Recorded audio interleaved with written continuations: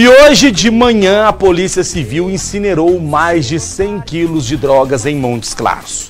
O material havia sido apreendido em julho do ano passado.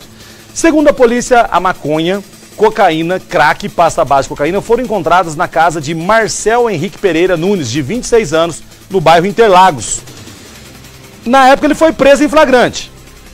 A incineração foi acompanhada pela delegada Talita Almeida, pelo promotor de justiça Paulo César Lima e pela representante da Vigilância Sanitária Brenda de Laura Abreu. Ainda segundo a polícia, Marcel Henrique foi solto em novembro do ano passado e está respondendo processo em liberdade. Eu vou te falar, ó, tá aí a turma aí, incinerou a droga e no momento em que incinerava a droga, todos os pássaros e urubus que passavam no céu ficou tudo doidão. Tudo doidão, os urubu no céu. Que fumacê, danado. Fumacê, fumacê, fumacê.